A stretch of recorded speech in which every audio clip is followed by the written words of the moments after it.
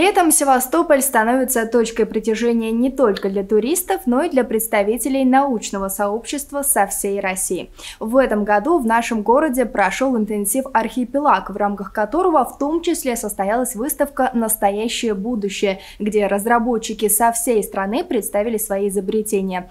Мы провели прямой эфир, где пообщались с участниками выставки и сейчас покажем одно из интервью. У нас появится Виктор Растеряев, генеральный директор НД «Марин».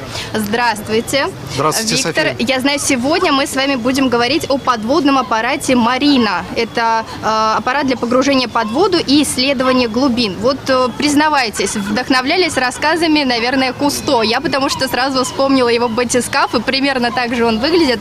Расскажите немножко подробнее про разработку. Да, все правильно. Это, скажем, наш проект ро- родился прежде всего из романтики. Это желание стать покорителем морских глубин. Потому что мы не только, мы помним всегда Капитана Немо, помним Наутилус и, скажем так, та романтика. И плюс э, в настоящее время считается, что мировой океан, он исследован не более 5%. Потому что мы полетели к звездам, мы исследуем э, сушу, но мировой океан, он еще требует своего покорителя и исследователя. Поэтому непосредственно тоже хочу сказать спасибо городу Севастополю и также организаторам проекта «Настоящее будущее», что мы смогли к вам сюда привести наш аппарат. Его можно посмотреть на выставке. И здесь самое главное то, что это гражданский аппарат. То есть это мы говорим, что это, да, действительно, это первый в России э, гражданский аппарат легкого типа, который предоставляет возможность совершенно неподготовленному человеку в плане физически, э, физически. То есть он не должен быть дайвером, он может не иметь опыта погружения, но он может погрузиться на глубину до 100 метров, соответственно, и э, прикоснуться к морским глубинам, к морской археологии. И, в принципе, мы считаем, что наш аппарат может быть полезен в том числе и городу Севастополю, потому что сейчас у вас большое внимание уделяется как морской археологии, так, скажем так, э, вашему заповеднику Херсонесу, соответственно. Поэтому вот э, мы и здесь его показываем, демонстрируем. Действительно, Севастополь и море, его исследования неразрывны. Кстати, друзья, вот небольшая подсказочка. Э, Видели белый купол выставки «Настоящее будущее», а вот как раз аппарат «Марина» можно увидеть на более низкой площадке возле солнечных часов.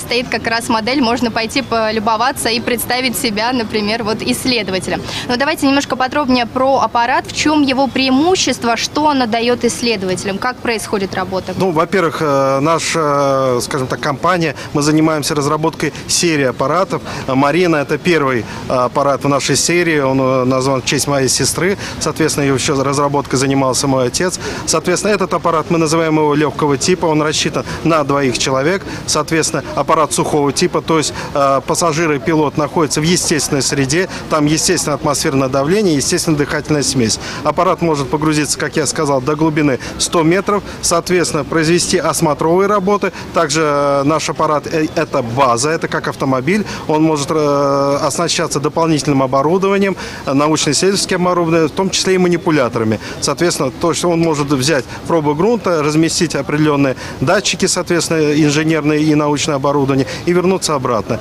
И мы надеемся, что как раз наш аппарат будет именно востребован в университетской и научной среде. Почему? Во-первых, это стоимость. Благодаря нашим технологиям, в том числе и технологии производства купола, потому что мы развивались в среде, э, в которой, ну, к сожалению, мы были ограничены в ресурсах, поэтому мы э, рассматривали технологии, которые позволяют э, довольно-таки достаточно дешево сделать купол, и наш аппарат получился недорогой, то есть он уже доступен и университетам, соответственно, и они могут его использовать. Плюс мы делаем Базовая это... комплектация сколько будет стоить? Базовая комплектация идет от 25 миллионов рублей. Для э, судостроения это небольшая цена. Но мы что еще смогли сделать? Для нашего аппарата не надо специальных крановых установок, чтобы спустить его на воду. То есть не нужны суда обеспечения. Его можно спустить с лодочного прицепа. То есть это как катер, по сути дела. Вы его спустили, также его можно транспортировать, то есть его можно к месту исследования. Не надо специального судна, вы можете зацепить его за катер, подвести и уже осуществлять погружение.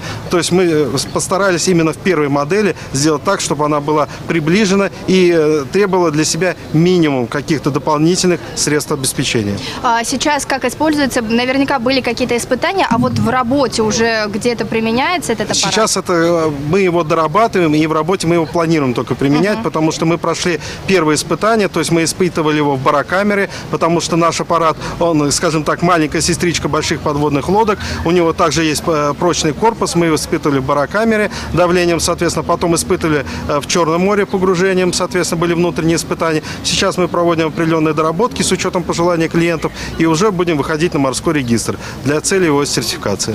Ну, не могу не спросить про безопасность, потому что, честно, например, я очень боюсь воду, тем более погружаться под воду, не иметь такой связи. Вот действительно, есть ли связь с поверхностью, насколько можно вот не бояться за себя и коллегу? Здесь вот и уникальность нашей разработки в том, что это действительно наша российская разработка, она еще идет корнями из советской индустрии, поэтому у нас есть несколько степеней защиты, соответственно, аппарат простой, погружение в всплытие осуществляется механическим образом, то есть за счет либо заполнения балластных цистерн водой, либо опорожнения их, вытеснения воды сжатым воздухом. Плюс у нас есть двигатель вертикального подъема, который позволяет аппарату перемещаться в толще воды. Но у нас есть также средства, например, наш аппарат может даже при неработающем двигателе, в случае, если он отказал или закончился заряд, при отдаче аварийного балласта он может сам подняться наверх.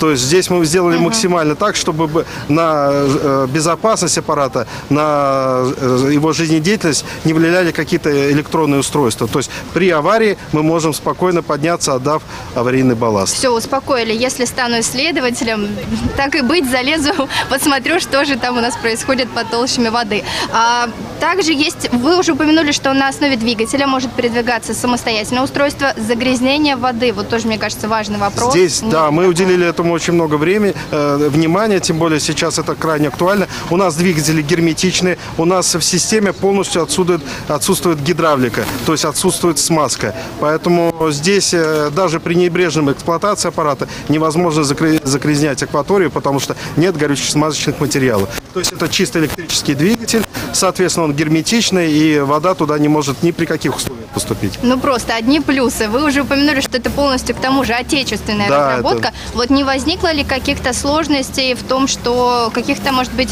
э, элементов не хватало, которые заказывали из-за рубежа? То есть вот в этом плане сейчас э, с санкциями, мне кажется, актуальный вопрос. Нет, здесь пока наш аппарат, слава богу, собран полностью практически из российских компонентов. Там единственное импортное используются блоки управления двигателями, но мы их можем легко заменить, просто, скажем так, это было готовое решение. А все-таки мы стартап, поэтому мы старались, ну, шли по пути наименьшего сопротивления. Мы собирали из доступных материалов. То есть при желании мы можем это заменить на российские компоненты, здесь не будет проблем. Плюс, скажем так, изготовление купола – это чисто российская разработка, наша разработка. Мы это делаем внутри, без привлечения э, зарубежных, скажем так, ресурсов. Что ж, большое спасибо, Виктор, за этот рассказ. Вот, друзья, обратите внимание, возможны разработки, которые основываются только лишь э, на отечественных элементах. Полную версию этого и других прямых эфиров вы можете найти на нашем сайте ntsdefistv.com во вкладке «Стрим НТС». Увидимся в эфире!